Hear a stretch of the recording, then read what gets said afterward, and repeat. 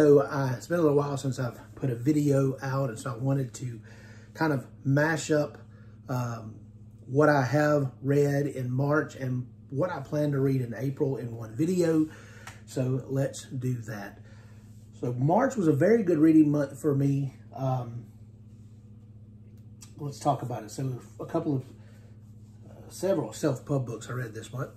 I started off the month with Down Below Beyond by T.A. Bruno. Now, this and the next book, as I think about it, it feels like it was two months ago when I read this book. When I went over my list of the books that I read uh, kind of to prepare for this video, I thought, there's no way I read this book this month. It had to have been at least last month, but no, it was the first book I read this month. And I enjoyed it. It was so much fun. Um, I don't know if you can see some of the artwork in this book is just outstanding. And I think maybe some of T.A. Bruno's other books has uh, similar artwork as well. And so anyway, that just made it fun and immersive. Uh, the writing was good. The characters were good. I enjoyed them. It was, I'm trying to go back and remember now. It was, it was kind of like a um, Star Wars meets Guardians of the Galaxy type adventure. It had the feel, a very uh, it was a space adventure, but it was also just really fun, and I enjoyed that very much.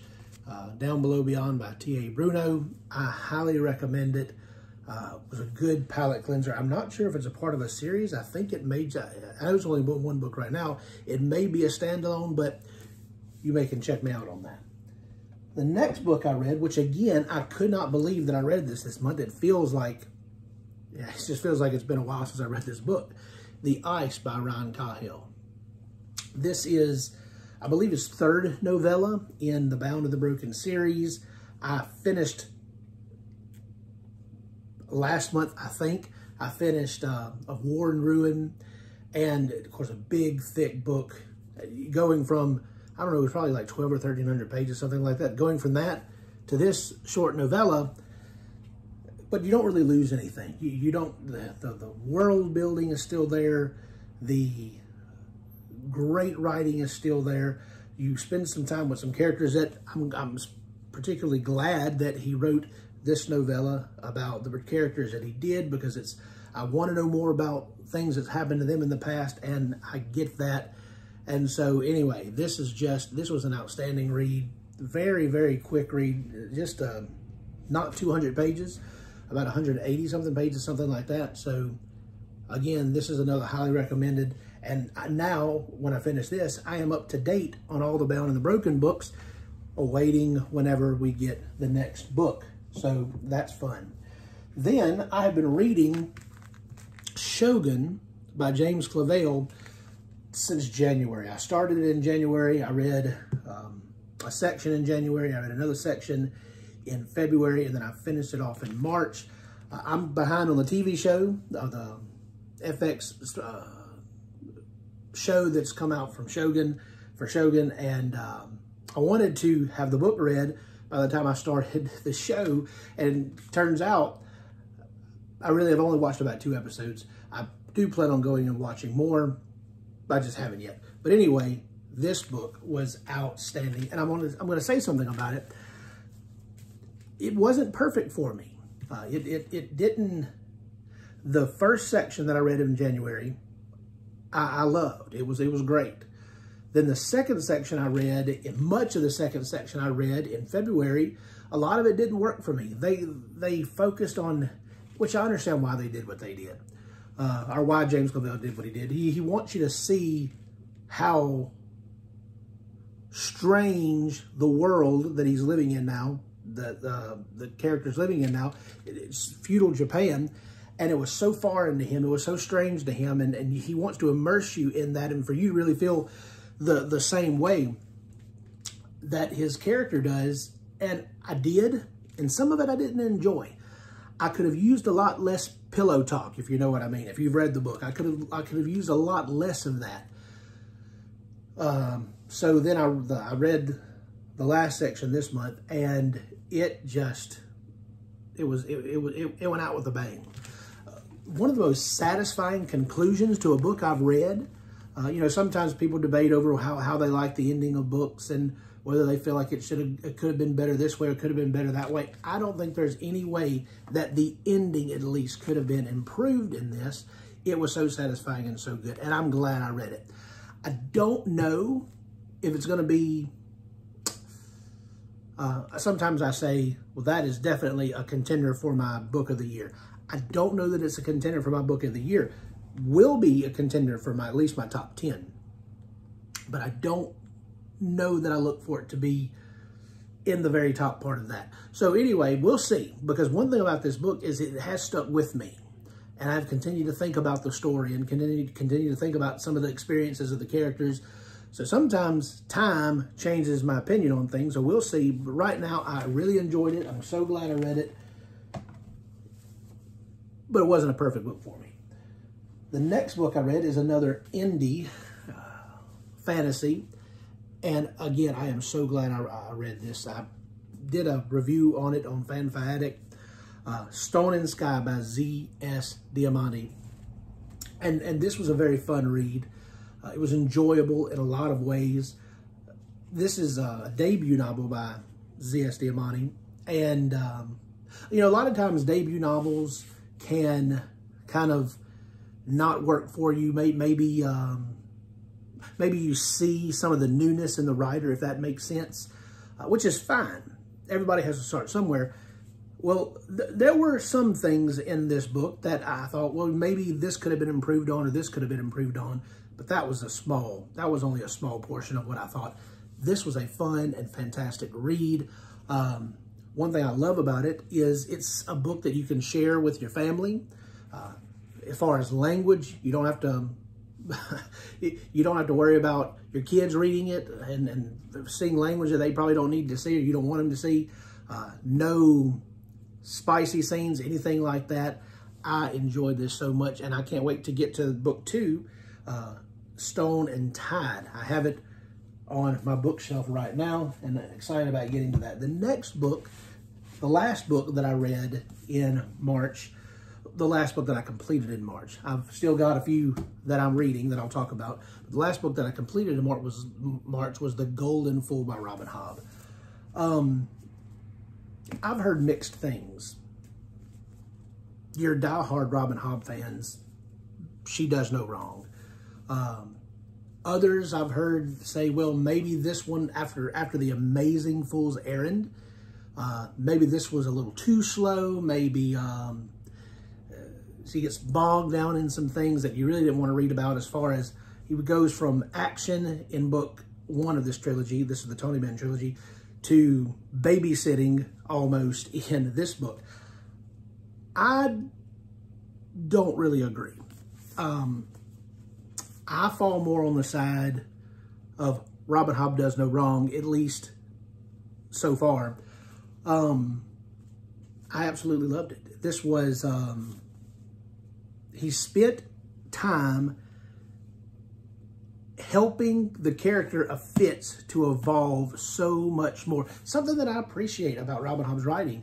A lot of people talks about how dumb decisions Fitz makes, especially in the first trilogy, uh, The Farseer. Well, he was a child, and then he was a teenager. then he was a, just, just above a teenager, a young man who's making dumb decisions, decisions like we would make at that age. And she really brought that out. And then this, he's a little bit older. He's, uh, I think he's around my age, around 30, between 35 and 38, somewhere in there, I think he is. And he, he is, she is exploring how he views his children. And it is just wonderful to read. I, I, I absolutely loved the conflict that he went through internally as he's expressing wanting his child to make right decisions and not make the same decisions that he made and wants them to do better than he did. And he, there's also, I don't want to give away any spoilers, but there's also, uh, he's been separated from another child and he's he longing to be with them, longing to love them, but not uh, to, to have a relationship with them, but at the same time, not wanting to because of possible danger for them. And it is just, I can't wait to get to the third book in this trilogy. So, again, it's um, easy recommendation. All right. Now, I mentioned on Twitter that I was secretly reading a book. What I meant by that is I hadn't announced it on here. Haven't put it on Twitter or anything that I was particularly reading this book because I didn't plan to read this book this month. But I started it anyway, uh, one of those mood read type things. And I haven't had the best experience with this particular author, uh, Brandon Sanderson. Now, I know that he is beloved, and, and, and I totally get why he's beloved. Uh, I, I, hold, Brandon Sanderson is important to the fantasy community. He is he is an outstanding author. Just look at the amount of books he's written and how successful he's been. So far, the books that I've read by Brandon Sanderson has not worked for me, including the most recent one that I read prior to this, which was uh, the second book of Mistborn, the original trilogy, um, The Well of Ascension. I DNF'd it. Um, book one, The Final Empire, was okay, but again, I felt the same I felt about his other books. They just didn't do much for me. And then I was reading The Well of Ascension, and I was just, I was bored. And I DNF'd it. And I thought, well, I think I might be done with Brandon Sanderson. But people kept telling me, don't stop yet. You have to read Stormlight Archive. You have to try The Way of Kings. That is totally different from everything else he's written. So I did. Well, I say I did. I started it. I am, I don't know, about a third of the way through it. Go ahead and say what page. I am on page 360 of, I think, a thousand pages, a little over a thousand pages. And they were right. Everybody was absolutely right. I have none of the issues, none of the issues that I've had with five other Brandon Sanderson books. I've had none of those issues with this. This is fantastic, epic fantasy. It is, it is absolutely, it has absolutely drawn me in. Uh, I'm invested in the characters. I'm invested in the story like I haven't been on any other Brandon Sanderson book. I have no plans of when I'm going to finish this because uh, I've got other books I'm reading at the same time. So um, I'm not going to push myself. I'm going to, as I, as, I, as I want to get to it, as I feel the mood to read, I'm going to read more. Um, I don't, and, and, and it's only getting better. The book so far is only getting better, so I don't see that stopping. I'm enjoying that. More to come on my feelings about that. The next book is another book that I'm completing. I'm, I'm reading. I wasn't, again, I don't think I plan on reading it this month, but John Gwynne released the cover, showed the, the cover of the new book of, the third book of the Bloodsworn trilogy, and I haven't read any John Gwynne books yet. And so I said, I have to change that. So I thought, what am I going to do? Am I going to read Bloodsworn first and then go back to The Faithful and the Fallen, or what am I going to do? Well, I ended up deciding through the advice of other people to go ahead and start with Malice, the first book of the Faithful and the Fallen. And some have said that this is the weakest of this particular series. If this is weak, then I'm going to be blown away by the rest of them because this has been an outstanding book. I have loved, I love epic fantasy. I love being pulled away into a, a high fantasy world and this is giving me everything I want. I enjoy slower paced books. I enjoy hanging out with characters in their hometown. Uh, the, the traditional tropes, chosen one trope. I, I love those things. And I am within 100 pages of finishing this book. Um, it may carry over into next month. I may finish it before. It depends on, of course, with the holiday weekend. Uh, not sure how much time I'm going to have to finish it. I'm going to try to finish it. If not, I'll definitely be finished with it in the first day or so of April. So that's why I put it on this side of the video. Next, I last year I spent a lot of time reading Stephen King. In fact, I think I read 11 Stephen King books, including a few Dark Tower books. That actually I, have read a couple this year as well. So 11 or 12 in all. But I haven't read his first book. And of course, this year is the 50th anniversary of Carrie. Um, I think this was, I know he wrote another book probably before that he released later on, but I think this was his first published book. And so I plan on jumping into Carrie and seeing what this is all about. Uh, I'm excited about it because so far I have really enjoyed. There are obviously things about Stephen King that does not work for me. Um, he can be very crude at times, to put it mildly. And I don't like that, but he's such a good storyteller that I want to read his books. And so I'm excited about reading Carrie this month. Next is a um, self-pub book that I actually received. It was an ARC that I received longer ago than I want to really admit. Um, I intended on reading it earlier on, but when I when I first started reading arcs for people uh, and reading indie indie authors, I accept I accepted a lot more arcs than I should have, um, and so I haven't had all the time that I want to go back to them. But this is one that I've had for a while, and I want to read. I want to get to, so I am going to read this this month. This is The Leopard and the Red River.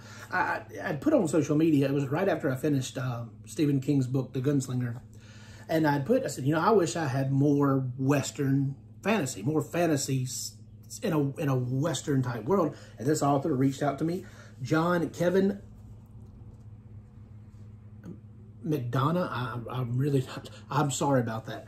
Uh, M C D O N A G H. McDonough, McDonough, I'm, I'm not sure. Anyway, he reached out to me, said, hey, I have something like that. He sent it to me. Finally going to get to it. I don't know, six, seven months later or something like that. So I look forward to reading this this month. And then to top off the month is Dune Messiah.